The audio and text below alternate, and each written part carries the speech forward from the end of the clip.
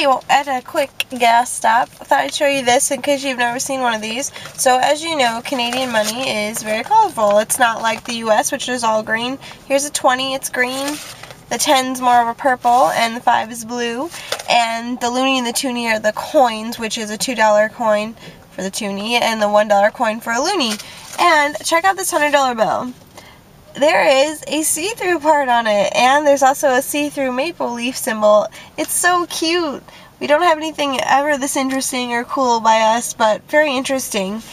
And on them is various, um, not only prime ministers and of course the Queen of England on a lot of their money, but also um, important people and uh, things, like this is a scientist and she's discovering medicine. So very cool, very fun, and I mean, it's kind of fun to have some coins. And here uh, we have just been realizing they actually don't deal with pennies. So every time you get change, it's just silver coins and they round up. So it was 75 cents, you know, we get a quarter back or 76 cents we'll still get a quarter back.